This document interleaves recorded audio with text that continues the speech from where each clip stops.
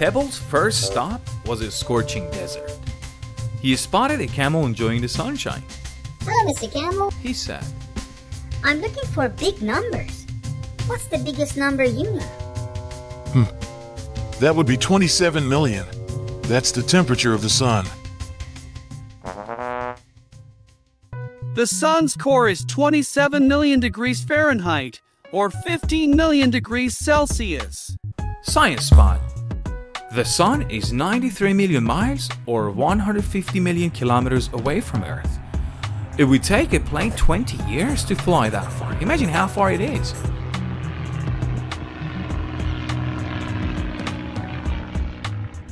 Number note. A million has six zeros. It looks just like this.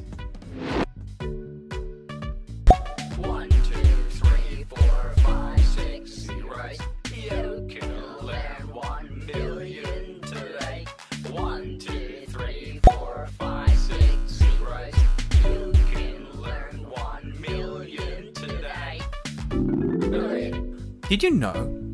Not all deserts are hot. A desert is a place where very little rain falls.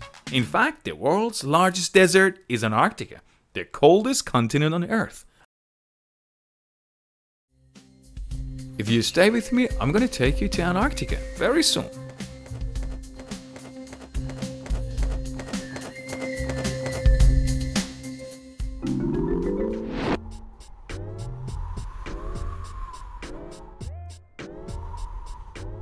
Which animal from these three lives in Antarctica? Can you guess?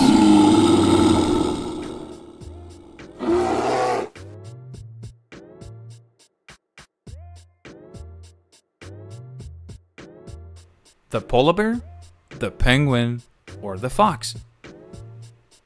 Which one?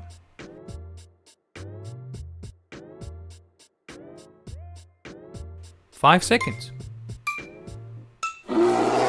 You're right. The penguin. Well done.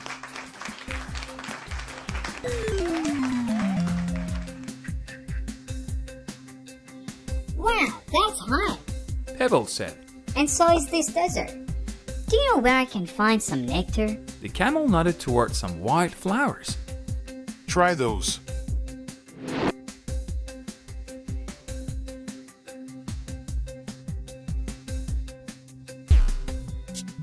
Did you know a butterfly uses its tube shaped mouth called a proboscis to drink nectar? That's like having a built in straw. Isn't it amazing?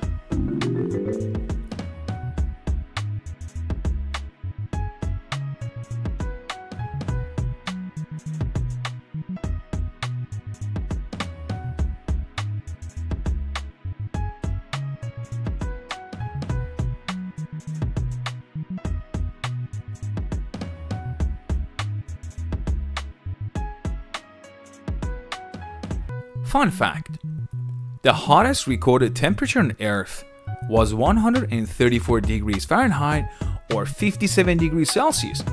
It was measured in the California desert on July 10, 1913.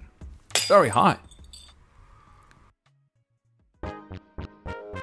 Science Spot Camels can drink around 500 cups or 120 liters of water in one sitting. Because they store all this water in their blood, they can go up to 7 months without drinking again.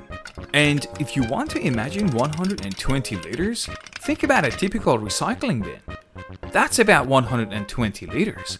Imagine the amount of water the camel drinks in one sitting. Amazing creatures, aren't they?